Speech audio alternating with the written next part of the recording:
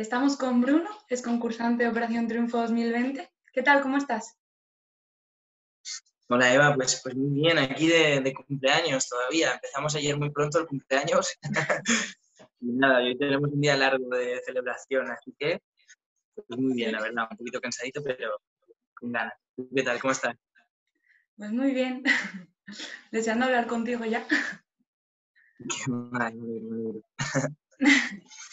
Y bueno, vamos a hablar un poquito primero por qué decidiste presentarte al casting de Operación Triunfo. Vale, pues mira, fue porque justo había empezado a subir otra vez vídeos a, YouTube y había como eh, pues varios de mis seguidores ¿no? que me iban escribiendo diciendo, oye, ha vuelto Operación Triunfo, que presenta el casting tal.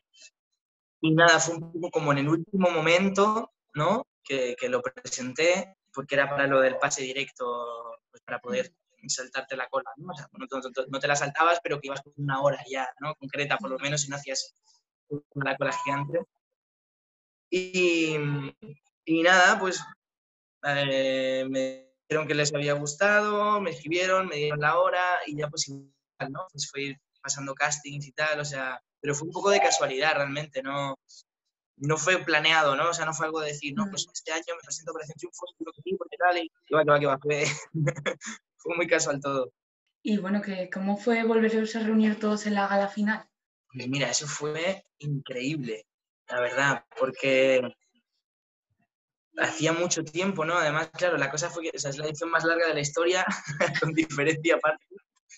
Y, claro, ya hacía mucho que no nos veíamos, ¿no? O sea, siempre hemos estado en contacto y nos, nos llamábamos, ¿no? Y nos videollamábamos para vernos y para, para estar ahí, pero, pero claro, es diferente y el hecho de volver a estar ahí otra vez todos fue como, madre mía, ¿qué es esto? Fue una, una locura. Pero también, pues eso, muy bonito, ¿no? O sea, un reencuentro precioso. Una pena que no, pues eso, con todo el tema del coronavirus, que no nos podamos pues haber abrazado, ¿no? Ni estar ahí juntos, ¿no? O sea, yeah. cuando Ganonía, por ejemplo, fue como muy frío, ¿no? Bueno, pues nos quedábamos aquí aplaudiendo y era como, no sé, la verdad que fue, fue una pena no poder, no poder hacerlo bien. Pero... estar. Claro, ya hoy, hoy, que quedamos, pues seguro que, que nos quitamos las. Sí. Y, y, bueno, cuando saliste de la academia, aunque ya habíais hecho ese parón, mejor dicho, cuando hicisteis ese parón, ¿qué, qué era lo primero que sabías, que querías saber? Pues lo primero que hice fue llamar a mis padres, hablar con ellos, ¿no? Y, y bueno, pues verles un poquito ahí, bueno, nos, nos videollamamos. Y, y nada, muy bien, o sea, me dijeron que estaban muy orgullosos, tal, y ya pues, con eso no uno se queda más tranquilo, que ya, y ya puede luego entrar a las redes así en general. Pero primero quería saber cómo, cómo, lo habían visto mis padres, que era lo, lo más importante, y, y, ya después el resto. Así que nada, hablé con, con, mis amigas, ¿no? mis amigos y tal, para ponerme, que me pusieran un poco al día ellos primero. Oye, he hecho algo que tal, o pasa alguna cosa, o le he liado mucho, o que... Y así, ya luego pues me metí tranquilamente a las redes. ¿Y qué facetas sacó Operación Triunfo de ti que desconocías? Pues yo creo que, que, Operación Triunfo lo que sacó, quizás no sacar, pero sí que potenció un poco más la faceta de, de artista, ¿no? Artista en, en términos generales. O sea, yo había tenido pues la suerte, valga la redundancia, de, de, trabajar con una compañía que se llama Tumpa, compañía de percusión que tiene pues, un sentido de espectáculo increíble entonces, digamos que yo tenía escenario, ¿no? O sea, tenía, tenía tablas, ¿no? Como para poder plantar un escenario y tirar, claro, la con percusión, no cantando, ¿no? Y la voz es un instrumento, es un instrumento diferente, es un instrumento diferente y, uno pues, se ve más afectado quizás por los nervios que, cualquier otra parte de tu cuerpo, ¿no? Justo la, la, la laringe, ¿no? Es como la, no sé, la que más, la que más lo nota.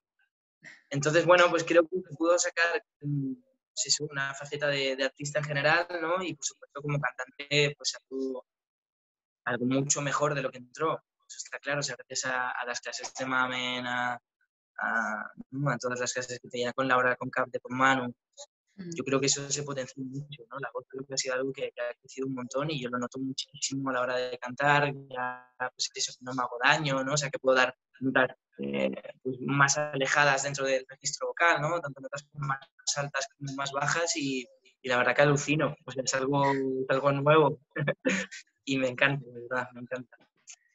Y bueno, durante las galas, ¿cuál ha sido tu canción favorita? Es ¿no? La canción favorita de Galaxia. Vale. Pues la verdad que yo me quedo con fugitivos. Es que fue muy bonito el hecho de poder cantarla allí y, no sé, quitarme ahí ¿no? la espinita de, contar mi verdad por primera vez en ese plató fue, fue muy bonito, muy bonito. Así que mi favorita sería Fugitivos, claro. Tanto que decir con las miradas, sonrisas de mejillas sonrojadas, palabras sin sentido conectadas, dibujan flores en un pentagrama. Escuches nada que te canto, mis secretos hablan cuando callo, que poco me conviene estar enamorado, sabiendo que jamás habrá empezado. Para nada hubiera esperado que sacases una canción tan, en plan, es que cuando se te ve, la apariencia que haces es como más, más cañero, entonces claro, sacas esto y es como, hostia. Uy, perdón por el Capachao, capachao. y bueno, que... que tenía ganas de, sacar. La verdad que sí, fue un poco arriesgado el, salir con una, una, balada, ¿no? Porque realmente el, estilo que, voy a llevar, que pretendo llevar, pues, es un poco más, más cañero, ¿no? Pero, pero también es, es parte de mí, o sea, soy y cantautor, eh, más allá de todo, ¿no? O sea, compongo mis, mis propias canciones, mis letras, y, y, era, no sé, estaba guay. No, quería expresar un poquito con, con, fugitivos. Ah, vale, vale, vale, vale. Pues yo creo que, se lo he dicho en todas ya, ¿no? Fugitivos creo que es un, es un sentimiento, creo que es un sentimiento muy concreto, ¿no? El hecho de, creo que es la forma de hablar del, del desamor desde el amor, ¿no? Cuando todavía queda, queda amor y es algo que, que, yo creo que a todos nos ha pasado alguna vez en nuestra vida y, y quizás por eso la canción guste tanto, ¿no? Por el hecho de que cuando la escuchas te sientes identificado o identificada con la letra la puedes hacer tuya en, cualquier momento y creo que, que, eso la gente ya ve, ¿no? Pues, o sea, Fugitivos tiene ya nombres, apellidos, lugares concretos, eh, climas, ¿no? Si llueve, si no, tal, o sea, creo que es una banda sonora de, yo siempre lo digo, hablaba con, con Ray, mi productor, digo, si conseguimos una, una atmósfera de viaje en tren o en autobús o en coche con lluvia y auriculares, digo, hemos conseguido lo que, lo que buscábamos. Y bueno, vamos a ver pronto cositas. Vamos a. Perdona, que están cortando cebolla y me, me está metiendo los ojos muchísimo. Estoy haciendo por ahí en la cocina, pero vamos, madre mía. Ah, los ojos. Que, a ver, pues lo que. Esperemos que, que sí, que dentro de, de poquito se pueda, hacer algo. y el problema es que, claro, que yo, no, he recibido, no he recibido ofertas de, discográficas, ¿no? De, multinacionales. Entonces, pues lo tendré que hacer un poco por, mi cuenta. Y claro, pues eso lleva más tiempo. Es lo único que, que, puedo decir, porque ahora me tengo que meter pues un poco a, pues a estudiar, ¿no? A ver cuál es la forma correcta para poder hacerlo de manera de manera autónoma ¿no? y ser más, pues es una, auto, una autogestión, que es algo que, que, tiene el triple de curro, ¿no? pero que también yo creo que es muy positivo.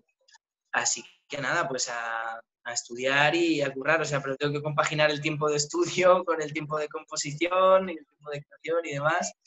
Pero, pero bueno, también tengo muchas ganas, o sea, creo que, que es una oportunidad que hay que aprovecharla. O sea, hemos, hemos conseguido, pues eso, ¿no? mucha visibilidad en mucha exponencia y si es el momento, es el momento que es el, la mejor oportunidad, por decirlo de una manera, ¿no? que voy a tener de, poder vivir de, mis canciones, ¿no? O sea, no de la música, porque la música ya vivía, pero, pero sí en mis canciones. Entonces, ¿no? Lo importante es con, con, la música y con todo. Que nada, que eso, que, que yo creo que, que, que, bueno, que tardaré un poquito más quizás en poder sacar más música, pero que seguro que va a haber más música, o sea que nada, un poquito de paciencia y, a esperar con ganas. Lo importante es que la saques. Pasamos ya a jugar a las palomitas. ¿Qué superhéroe te gustaría ser y por qué? Me gustaría ser em, Iron Man y porque me flipa. ya está. No hay más. ¿Qué es lo más raro que te ha pedido un fan?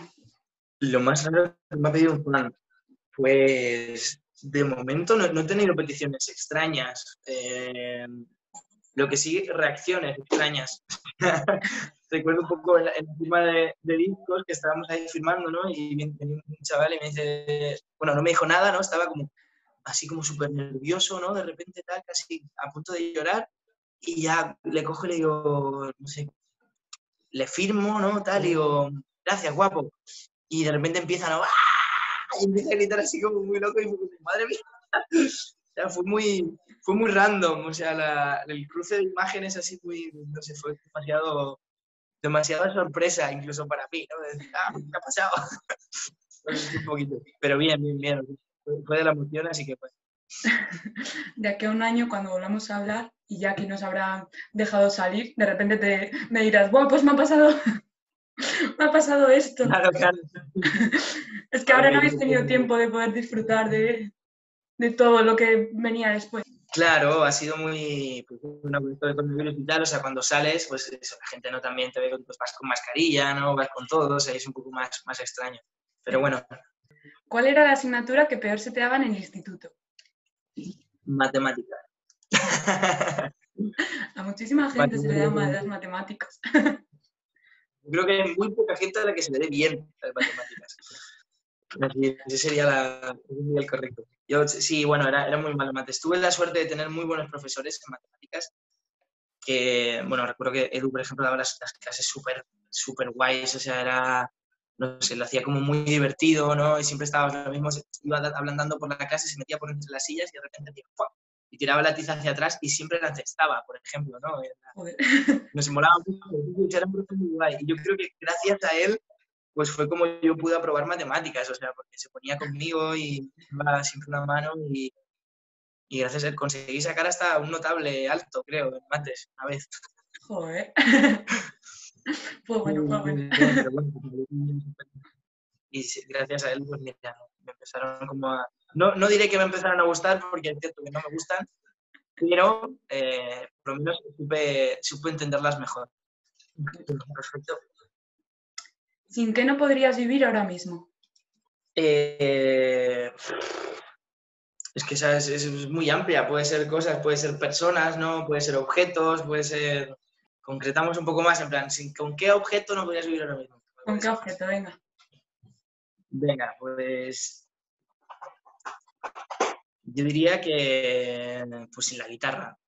Ahora mismo es como a lo que más estoy apegado, ¿no? Y a lo que más tengo con lo que estoy pasando más tiempo así de objetos en general es la, es la guitarra, más que con el móvil, así que... Pues nada, Bruno, ha sido un placer hablar, aunque entrecortadamente contigo. Pues un saludito a todos los seguidores de Movies y, estáis invitados, ya lo habéis oído, a, escuchar fugitivos y a poner comentarios y a darle likes y, y está. Y si no os gusta, pues cerráis la ventana.